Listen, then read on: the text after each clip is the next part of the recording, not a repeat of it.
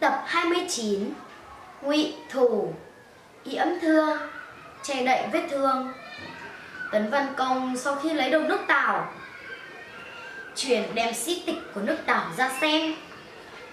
Thấy những người làm quan đến chức đại phu, Kể hàng 300 người đều chiếu họ tên bắt hết cả. Không sót một người nào, Nhưng lại không thấy tên của Hy Phụ Cơ. Có người nói với Tấn Văn Công rằng Hiệp Phụ Cơ vì khuyên vua nước Tàu giảng hòa với Tấn đã bị vua Tàu cách chức rồi. Tấn Văn Công kể tội Tào Cung Công rằng, cả nước người chỉ có một bể tội hiền mà người lại không biết dùng. Chỉ toàn dùng một lũ tiểu nhân, tài nào mà không mất nước. Nói xong, liền sai đem giam lại một chỗ để chờ khi đánh được sở xong, rồi sẽ phân xử. Còn 300 người đã có quyền thế, bây giờ đều bị giết cả. Lại tịch thu gia tài, thưởng cho quân sĩ. Tấn văn công lại hạ lệnh cho quân sĩ không được ai xâm phạm đến nhà hy phụ cơ và xung quanh xóm hy phụ cơ ở. Sau đó chia quân làm hai đạo. Một đạo đóng ở trong thành nước Tào còn một đạo thì theo tấn văn công trở về đại dinh. Ngụy thù và điền hiệt vẫn cậy nhiều công trạng, hay có ý kiêu ngạo. Này thầy tấn văn công có ý trọng đãi khi phụ cơ. Như vậy, ngụy thù tức giận, bảo điền hiệt rằng, chúng ta đi theo chúa công đánh nước tào, bắt vua chém tướng. Biết bao nhiêu là công trạng mà không thấy chúa công nói gì đến thì phụ cơ chẳng qua chỉ thiết đãi. Mỗi một bữa cơm, ẩn huệ đáng là bao nhiêu? Mà chúa công trọng đại quá, thật là không công bằng. Điền hiệt nói, người ấy nếu chịu làm quan, thì tất chúa công ta sẽ trọng dụng. Khi ấy, bọn ta sẽ bị hắn đè nén. Chỉ bằng ta một mớ lửa thôi nha hắn. Cho hắn chết đi, để khỏi dí hại về sau dẫu chúa công có biết đi nữa cũng chẳng giết chúng ta được mà sợ. Ngụy thủ lấy làm phải lắm. Rồi hai người cùng nhau uống rượu. Đêm hôm ấy, họ đem quân đến vây nhà hy phụ cơ đóng, phóng hỏa đốt nhà. Lửa cháy ngất trời. Ngụy thù đang say rượu, cậy có sức khỏe. Treo lên cái tròi cửa, chạy đi chạy lại để dò tìm hy phụ cơ mà giết đi. Ai ngờ mấy cái cột tròi ấy lại bị lửa cháy thiêu rụi. Gãy mà đổ ngụy thủ ở trên tròi ngã lăn xuống đất. Cái cột cháy ấy đè ngay lên ngực. Ngụy thủ hộc máu miệng ra. Vội vàng trèo qua nóc nhà để chạy. Suýt nữa thì chết cháy. Ra đến ngoài, ngụy thủ đau quá. Chỉ nằm bẹp xuống đất, không thể đi được nữa điền hiệt trông thấy liền cởi áo đắp cho rồi vực lên, xe đem về. Hồ yển và tư thần ở trong thành trông thấy ngọn lửa. Tưởng có binh biến, vội dẫn quân đến. Thấy nhà huy hy phụ cơ cháy, lên truyền quân sĩ cứu chữa, thì nhà đã cháy gần hết rồi. Hy phụ cơ đem mấy người nhà đi chữa cháy, bị khói xông vào mắt. Ngã lăn xuống đất, bất tỉnh nhân sự vợ hy phụ cơ ẵm con mới lên 5 tuổi.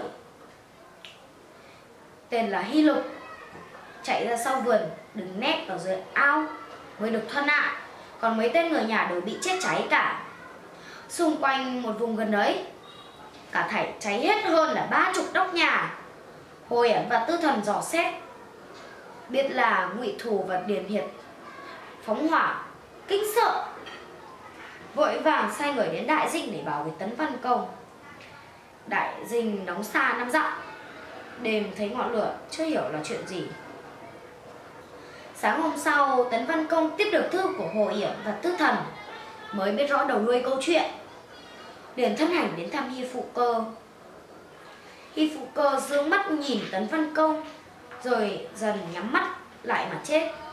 Tấn văn công vô cùng thương xót Hi, vợ Hi Phụ Cơ ẵm Hi Lục sụp lại ở dưới đất vừa lạy vừa khóc. Tấn Văn Công cũng ứa nước mắt mà bảo rằng Hiền tẩu chớ lo phiền, đã có tôi trông nom cho, không ngại gì cả. Nói xong tức khắc phong cho Hy Lộc ở trên tay Ngay còn ở trên tay mẹ làm chức đại phu Lại chu cấp cho vàng lụa nhiều lắm để tống táng Hy Phụ Cơ sau Hy Lộc, làm quan đại phủ ở nước Tàu, Tấn Văn Công muốn chém Ngụy Thủ và Điền Hiệt Triệu Thôi nói, Hai người ấy, khi xưa tòng vong, Khó nhọc trong 19 năm trời. Mới đây lại có công trạng lớn, Chúa công nên dung thứ cho. Tấn Văn Công nổi giận mà nói rằng, Ta sở dĩ thù tín với tận dân, Nhớ có pháp luật. Về tôi không theo pháp luật thì sao còn gọi là bề tôi được nữa? Vua thi hành pháp luật với bề tôi không được. Thì sao gọi là vua? Vua chẳng ra, vua, Bề tôi chẳng ra bề tôi. Thì sao mà giữ yên được nữa?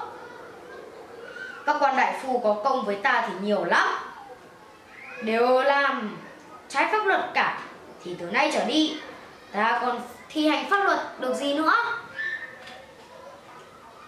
Triệu thôi nói chúa công nói phải lắm đó, nhưng ngụy thu là người vũ dũng. Các tướng không ai bằng, giết cũng nên tiếc. Xin chúa công giết một mình điền hiệp cũng đủ làm gương cho kẻ khác. Cần gì mà phải giết cả ngụy thu? Tấn văn công nói, ta nghề Ngụy thủ bị thương ở ngực không dậy được. Chẳng bao lâu cũng chết. Còn tiếc gì mà chẳng trị tội Để giữ cho pháp luật được nghiêm minh? Triệu Thôi nói Tôi sẽ xin phụ mệnh chúa công Đến thăm nhà Ngụy Thu Nếu như Ngụy thu bệnh Thì quả là đáng nguy. Chúa công lúc ấy hãy trị tội. Nước băng còn mạnh thì nên lưu lại. Một viên hổ tướng như ấy để dùng với sau. Tấn văn công gật đầu, liền sai tuân lâm phủ đi đòi liên hiệp và sai triệu thôi đến thăm bệnh ngụy thủ triệu thôi, phụng mệnh tấn văn công. Đến thăm bệnh ngụy thủ. Bây giờ ngụy thủ vẫn còn vết thương nặng ở ngực. Vẫn nằm trên giường, chưa trở dậy được. Nghe bảo có quan đến thăm.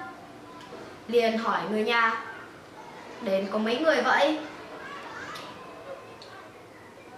Người nhà nói, Chỉ có một mình quan tư mã triệu thôi. Ngụy Thù nói Hắn định dò xem ta có sống được hay không. Nếu bệnh không sống thì tất đem ta ra để trị tội đây. Nói xong, liền sai người nhà lấy bó lụa, kín ngược lại, để ra tiếp kiến triệu thôi.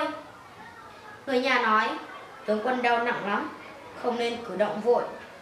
Ngụy thủ quát to rằng, bệnh ta không đến nỗi chết, các người chưa nói can nói xong liền đứng dậy. Mũ áo chỉnh tề. Chỉnh tề ra tiếp kiến triệu thôi. Triệu thôi hỏi, nghe nói tướng quân bị nặng lắm. Chúa công có sai tôi đến hỏi thăm. Ngụy thủ nói, bởi có quân mệnh nên tôi phải miễn cưỡng ra đây. Tôi cũng tự biết mình là đáng tội chết. Nhưng may mà chúa công ân xá cho, thì cái thân sống thừa này xin hết thức, hết sức để báo đáp ngụy thủ lại nhảy lên mấy lần để tỏ ra cho triệu thôi là biết là mình còn sức mạnh. Triệu thôi nói tướng quân cứ yên lòng thúc, chăm thuốc men cho chóng khỏi rồi tôi xin tàu lại với chúa công. Triệu thôi về tâu với tấn văn công rằng ngụy thủ dẫu bị thương nhưng gần sức vẫn còn mạnh và lại vẫn biết giữ phép làm tôi nếu chúa công tha cho y, thì sau này tất cũng dùng được việc. Tấn văn công nói, nếu tha mà không trái với pháp luật, thì ta còn muốn giết làm gì? Nhận diện ngũ kế, một Dẫn thương. Thống là che giấu vết thương đau đớn, che giấu nhược điểm của mình, hoặc che giấu tài năng của mình. Không cho đối phương biết. Kế này cũng còn có tên là nhiễm thương não che giấu tuổi tác sự suy lão và nua hai ngụy thù biết nếu mình tỏ ra thương nặng. Không sống được sẽ bị xử tội, mạnh khỏe sẽ thoát chết và vận dụng mưu yếm thương. Thành công, trẻ bắt được triệu thôi. Chuyện dân gian, có một cô gái mũi xấu không dám ra gặp một chàng trai. liền tâm sự với bà lão mai mối. Bà lập kế bảo cô gặp dạo cô gái ngày mai đứng trước cửa cầm bó hoa đẹp giá bộ người chàng trai cưỡi ngựa đi qua thấy cô gái đẹp cầm bó hoa e ấp lại càng thêm hấp dẫn anh ta vui đòi cưới liền tay 4. Những cô gái thích trang điểm hoặc nói bất tuổi cũng là cái yếm thương để câu các chàng trai. Các bạn nhớ đăng ký, ủng hộ và theo dõi kênh của chúng tôi nhé. Goodbye!